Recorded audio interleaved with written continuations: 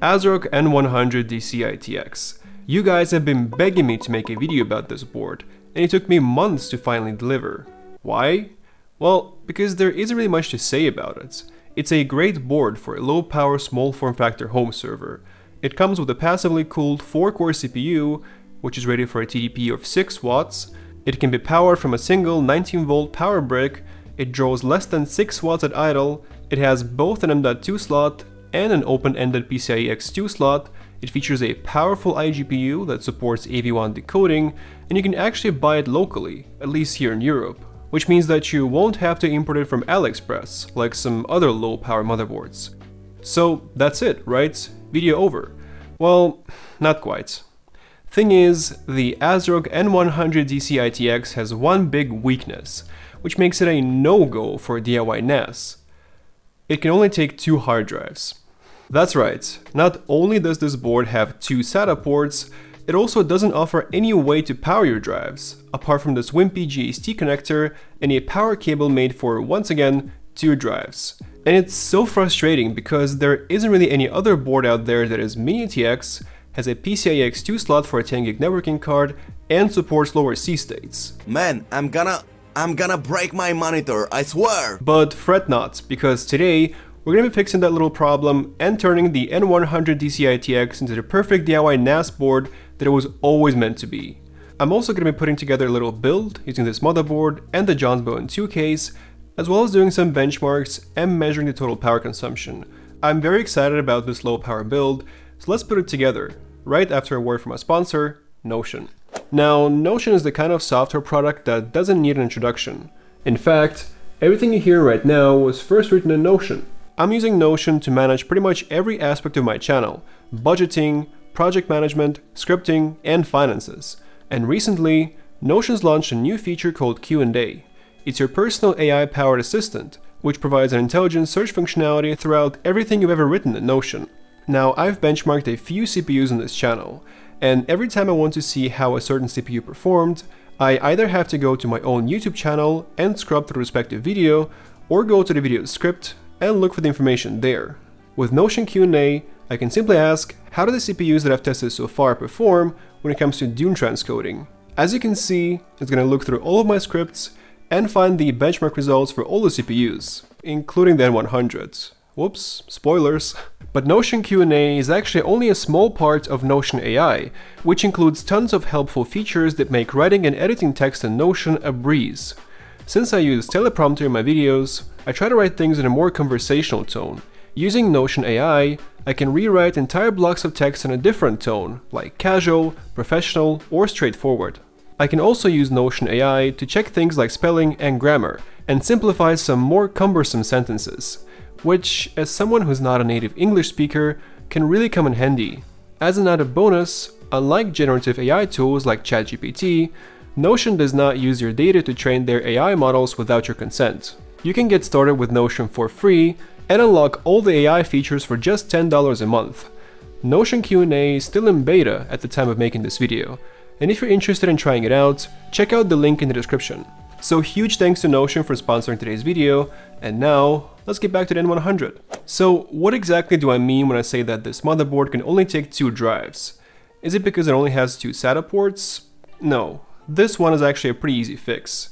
The N100DC-ITX features an M.2 slot, so you can simply buy the 6-port ASMedia card for less than 20 bucks, plug it into the motherboard, and this will give you 8 SATA ports in total.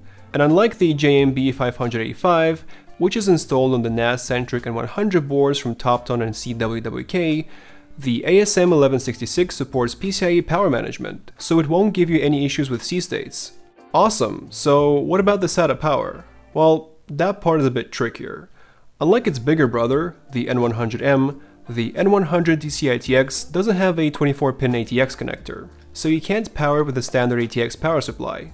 Instead, you're supposed to use a 19-volt laptop power brick, and when it comes to powering your drives, the N100DC-ITX comes with a 4-pin JST power connector, as well as this adapter cable for two SATA drives. Please ignore the fact that there's actually no connector at the end of that cable. Now if you just want to use two hard drives with the board, or maybe don't want to use any spinning rust whatsoever, this is not that big of a deal.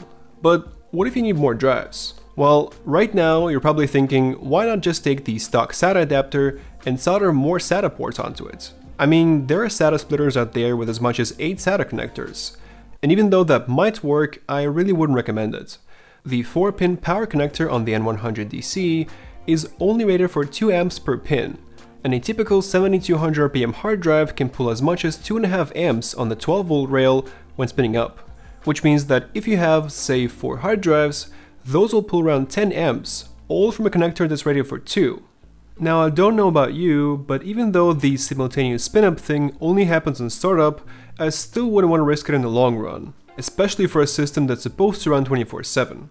The only case in which I would recommend this solution is if you're building an SSD only NAS, since SSDs need way less power than hard drives. That being said, let's talk about the solution that would let us use this board with as many hard drives as we want. That is, powering the board with a standard ATX power supply.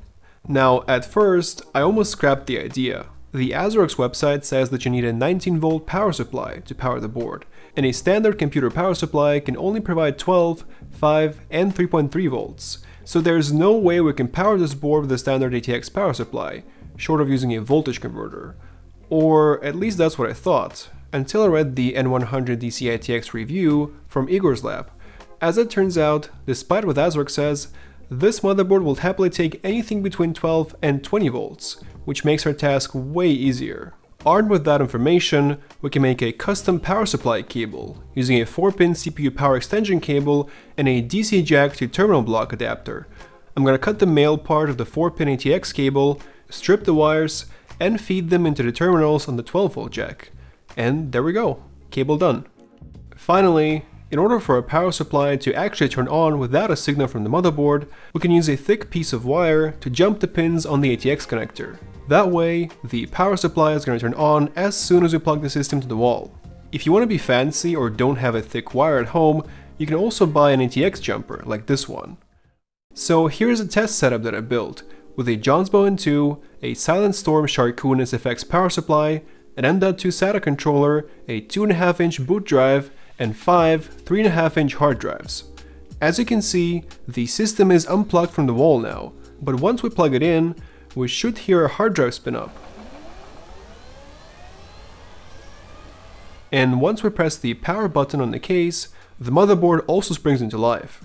To avoid having to press the button every time, we can go into the BIOS and set the motherboard to automatically power on when plugged into the wall. Since we're using a DC jack with block terminals, we can also use these convenient Wi-Fi antenna holes to pass the cables from the inside of the case to the outside. That's not my idea, by the way. I stole it from Igor's lab. And voila, an N100DC-ITX build with 5 hard drives, and enough room to add 2 SATA SSDs down the line. So now that we've fixed the biggest issue that I've had with the N100DC-ITX, let's talk about the build. This machine is actually going to be running at my parents' house, and serve as an offsite backup for my YouTube footage. It's also going to run SyncThing and PhotoPrism, and basically pull all the new photos from my parents' smartphones. I've already made a video about their current quote-unquote NAS, and some of you guys suggested that I use it for offsite backups. And honestly, I thought that the idea was genius, and kinda just decided to do it. I'm working on a separate video for this build, in which I'm going to go over the components, set up things like remote control, peer-to-peer -peer VPN, Docker, and so on. So make sure to subscribe if you don't want to miss it. For now though, let's talk about the power consumption. Now, in order to test this board's power consumption, I decided to swap from the SFX power supply to a Pico PSU. Most of the measurements on this channel were made either with a Pico PSU or a Corsair RM550X. So in order to be able to compare this board to other ones that I've tested so far on this channel, I'm going to be plugging into a Pico PSU. With a 16GB stick of RAM and a SATA SSD, this board draws 6.7 watts from the wall at idle, and will only go down to C3. After some trial and error, I found that the culprit was the built-in Realtek NIC, so I forced the L1 ASPM for the NIC with this terminal command which brought the power consumption to 5.2 watts and allowed the system to go to C8. I also saw no difference between plugging this board directly into the 12 volt adapter and powering it with our custom 12 volt to DC jack adapter. The power consumption stayed the same. After plugging in the SATA controller, as well as our 5 hard drives and putting them to sleep, the power consumption goes up to just 10.9 watts, which is about what you should expect from this board, if you're going to be using it as a DIY NAS. That's pretty impressive. Now, one of the reasons why I prefer the N100DC-ITX to other MiniATX N100 boards is the PCIe X4 slot, which is actually only wired for X2. Still, this should be more than enough for a 10GB SFP Plus card. Personally, I can recommend the TRENDnet TEG 10GEC SFP card. It's based on a relatively new power-efficient Aquantia AQC100 NIC, and supports PCIe power management. There are other cards based on the AQC100 series chips though, and some may be cheaper or easier to get where you live, so do your research. After plugging in the networking card and letting the drive sleep, we see total power consumption from the wall of 12.4 watts. That's with 16 gigs of RAM, 1 SATA SSD, 5 hard drives in the spin down mode, and a 10 gig networking card. Not bad at all. And in case you're wondering, disabling the integrated Realtek NIC has pretty much no effect on the overall power consumption. One weird thing I noticed with the 10 gig networking card though, is that if I ran the iPerf 3 in a single connection mode, I couldn't get anywhere near 10 gigabits. However, when running it with 5 connections in parallel, I was able to get the full 10 gigabit speeds, even when testing in both directions. At first I thought that the card was bottlenecked by the CPU, but looking at HTOP, the N100 processor only gets to around 33% load when testing the network speed. I also tried playing with jumbo frames and TCP windows to pretty much no avail. So if there are any networking experts out there who know what the hell is going on here, please leave a comment below. One more thing I wanted to test on this board is the power consumption when running VMs. In my last video, I used this board to run virtual machines with Windows XP, Windows Vista, Windows 7, Windows 10 and Windows 11 all at the same time. And while I was at it, I measured the power consumption while running the VMs. During the installation, the entire system, without the hard drives and the networking card, was pulling around 18 watts of power. That's with all versions of Windows being automatically installed at the same time. But once the installation was finished and all the VMs settled down, the power consumption went down to around 10 to 12 watts. Remember, that's with 5 Windows VMs running at the same time. So here's what the final power consumption numbers look like. 5.2 watts at C6 with nothing plugged in but a SATA SSD and a 16 gig stick of RAM, 12 watts at C2 with 5 Windows VMs running at the same time, 10.9 watts at C6 with an external SATA controller and 5 hard drives in the spin down mode without the VMs, and 12.4 watts at C6 with all of the above except for VMs, plus a 10GB SFP Plus networking card. Honestly, this might be my most power efficient NAS build to date. And since the N100 CPU also has a TDP of 6 watts, the average power draw, including both idle and resource intensive workloads, is probably going to be pretty low as well. Now that we've talked about the power consumption, let's move on to hardware video transcoding. Now despite its modest CPU performance, the N100 comes with a pretty powerful iGPU. It supports QuickSync and you should have no issues using Plex and Jellyfin. As an added bonus, it also supports AV1 decoding, which we're going to take a look at later on in the video. But first, let's take a look at our usual hardware transcoding benchmarks. In the 1080p H264 test, the N100 scored 125 FPS. In the 4K H264 test, we see 35 FPS. In the 1080p HEVC test, the N100 scores 54 FPS. In the 4K 10-bit HEVC test, we see a figure of 14 FPS. And here's what it looks like compared to some other GPUs that I've tested so far. As you can see, it's pretty close to the Intel HD 630, except for the H265 1080p test, where the N100 performs even worse than the Intel HD 530.